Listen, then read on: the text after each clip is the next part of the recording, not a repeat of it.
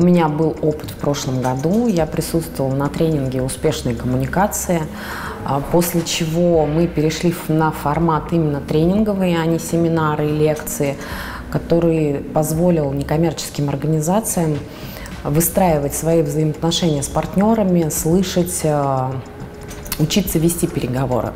Постановка проблемы и многое, что касаемо проектирования, очень сложно порой донести в семинаре только через наработку навыков. За последний год как раз-таки в Тольятти очень много молодых некоммерческих организаций, которые сделали такой хороший старт, теперь не могут остановиться, то есть они пишут везде, выигрывают везде.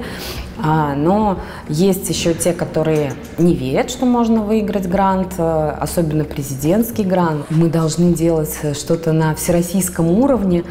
Поэтому разубеждать и что это реально, что вы можете получать средства на ту важную деятельность, которую вы реализуете, и проводить ее более в качественном формате. Все ждут, когда я вернусь, и мы будем проводить э, уже в, с опытом, который я здесь приобрету, тренинг в Тольятти.